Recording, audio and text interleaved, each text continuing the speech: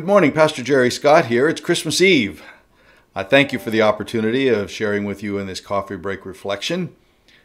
I'm sitting in my dining room this morning, prayerfully, thoughtfully, thinking over the day, over life, reflecting, and the sky that I look out on is sort of a reflection of the world we live in dark, ominous, threatening.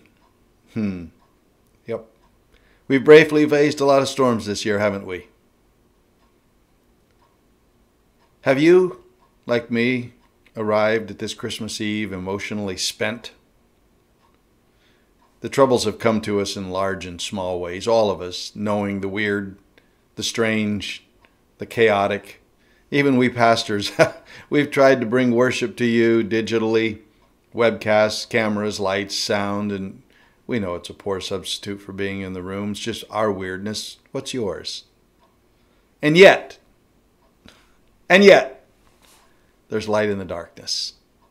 That's what I want to bring to you this morning. There's a reason for hope. God sent his Son, and John says of him, listen to these words from John chapter 1. Life itself was in him, and this life gives light to everyone. The light shines in the darkness, and the darkness can never extinguish it.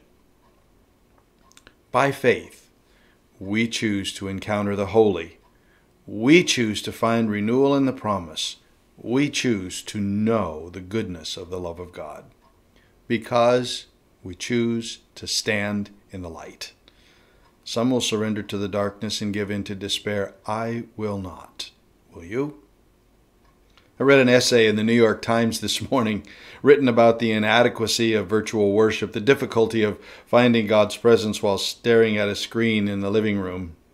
The author talked about his family's choice to dress if they were as if they were going into church, that they put their chairs in rows in the living room like pews, and they followed along with responses, and eventually they found it tiresome and their attention lagged.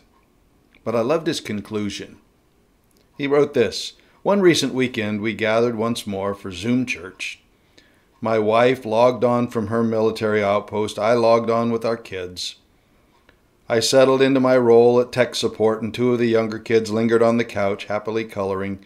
And as I followed along in the service, something surprised me. I looked up from the computer, and I saw my daughter standing in the middle of the living room, her tender, beautiful voice resounding through the space. She was singing, and I found myself ushered into the presence of something that defies description.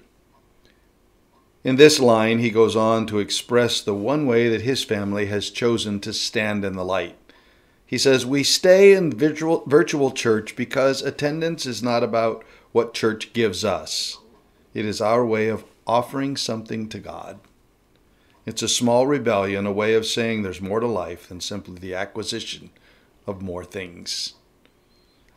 Friend, this Christmas, I pray that each one of us will choose to stand in the light, to use that author's words to make it a way of declaring our rebellion against the darkness, to confess our faith, to simply con- to simply accept the promise of Jesus, even when we feel nothing but soul fatigue.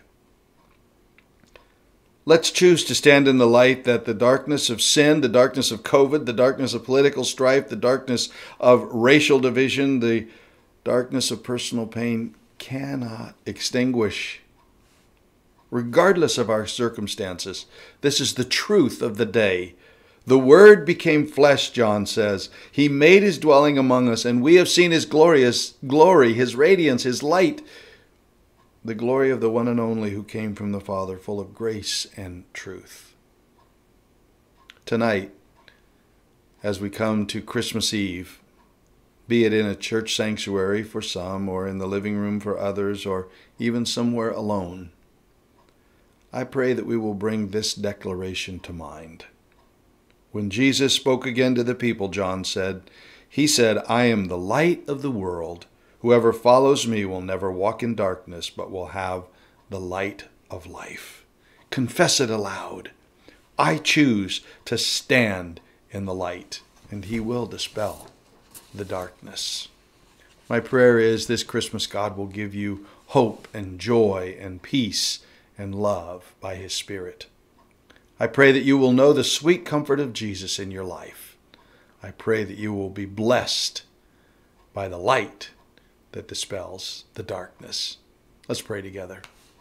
Father, we come again in the precious name of Jesus, thanking you that he came to be light in a darkened world. Lord, as we're closing out 2020, there is much darkness. But I pray that you would shine brightly in our lives. Give us a holy courage, Lord, to go and stand in the light, to declare in faith that Christ alone is our hope. Shine brightly in us and through us, I pray.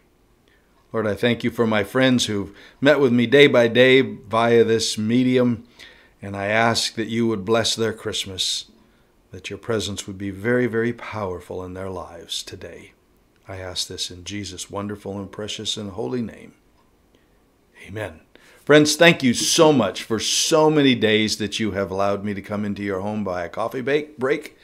I'm going to be taking a few days off. I'll be back, God willing, January 4th. Until then, may God bless you. May He keep you. Merry Christmas. Happy New Year.